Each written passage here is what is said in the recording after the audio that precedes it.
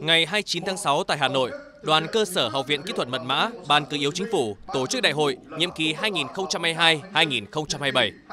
Nhiệm kỳ 2017-2022 được sự quan tâm, lãnh đạo chỉ đạo của Đảng ủy, Ban giám đốc học viện, công tác đoàn và phong trào thanh niên của Học viện Kỹ thuật Mật mã đã hoàn thành toàn diện các chỉ tiêu, nhiệm vụ, nhiều nhiệm vụ hoàn thành xuất sắc. Trong đó, đoàn cơ sở đã thường xuyên làm công tác giáo dục chính trị tư tưởng cho cán bộ đoàn viên, đồng thời quán triệt triển khai nhiều chương trình hành động, phong trào thi đua sát với đặc điểm, nhiệm vụ của từng đơn vị. Hàng năm, có trên 95% đoàn viên, hơn 90% tổ chức đoàn hoàn thành tốt và hoàn thành xuất sắc nhiệm vụ, không có tổ chức đoàn yếu kém.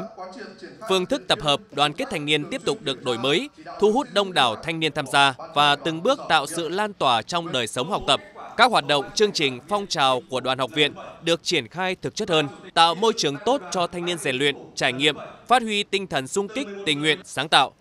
Trong nhiệm kỳ, nhiều nhân tố mới, điển hình tiên tiến trong thanh niên được phát hiện, tôn vinh, lan tỏa, góp phần tạo dựng hình ảnh đẹp về tổ chức đoàn và đoàn viên thanh niên học viện. Trong nhiệm kỳ ờ, 2017-2022 vừa qua thì ờ, đoàn ờ, cơ sở học viện Thuần Mã ngoài việc là thực hiện các cái nội dung ờ, chỉ thị nghị quyết của cấp trên thì đoàn học viện cũng đã chủ trương ờ, xây dựng được rất nhiều cái hoạt động mang cái tính ờ, đột phá cho đoàn học viện. Qua các, cái hoạt động phong trào như thế thì đoàn học viện cũng đã lựa chọn và giới thiệu đoàn viên ưu tú học lớp cảm tính đảng học lớp đảng viên mới. Lựa chọn đoàn viên ưu tú kết nạp đảng. Hy vọng rằng là trong cái nhiệm kỳ tới thì đoàn học viện sẽ hướng dẫn giới thiệu và bồi dưỡng đoàn viên của mình trong toàn học viện. Quyết tâm thực hiện thắng lợi mọi nhiệm vụ. Với khẩu hiệu kiên định, sung kích, đổi mới, sáng tạo, quyết thắng, Đoàn cơ sở Học viện Kỹ thuật Mật mã xác định trong nhiệm kỳ tới sẽ tiếp tục quán triệt và thực hiện có hiệu quả nghị quyết đại hội đảng các cấp, các chủ trương chính sách của Đảng, Nhà nước, Quân ủy Trung ương, Bộ Quốc phòng và ngành cơ yếu Việt Nam chăm lo giáo dục, rèn luyện, đào tạo, bồi dưỡng thế hệ thanh niên học viện giai đoạn mới có bản lĩnh chính trị vững vàng, giỏi chuyên môn nghiệp vụ, mẫu mực về đạo đức, có lối sống lành mạnh, ý thức chấp hành pháp luật, kỷ luật, sẵn sàng nhận và hoàn thành xuất sắc mọi nhiệm vụ được giao.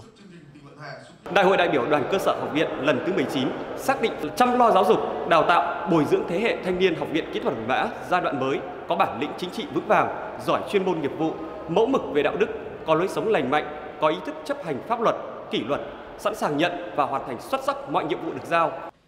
Tại đại hội, các đại biểu đã tham gia đóng góp ý kiến vào dự thảo báo cáo chính trị trình Đại hội đại biểu Đoàn Thanh niên Cộng sản Hồ Chí Minh, Ban Cử yếu Chính phủ lần thứ 7, nhiệm kỳ 2022-2027, báo cáo chính trị trình Đại hội đại biểu Đoàn Thanh niên Cộng sản Hồ Chí Minh toàn quốc lần thứ 12 và điều lệ đoàn sửa đổi. Đại hội tiến hành bầu 11 đồng chí vào Ban chấp hành đoàn cơ sở nhiệm kỳ 2022-2027 bầu đoàn đại biểu gồm 52 đồng chí, trong đó có 3 đại biểu dự khuyết dự Đại hội đại biểu Đoàn Thanh niên Cộng sản Hồ Chí Minh Ban Cự yếu Chính phủ lần thứ 7, nhiệm kỳ 2022-2027 với tỷ lệ tín nhiệm cao.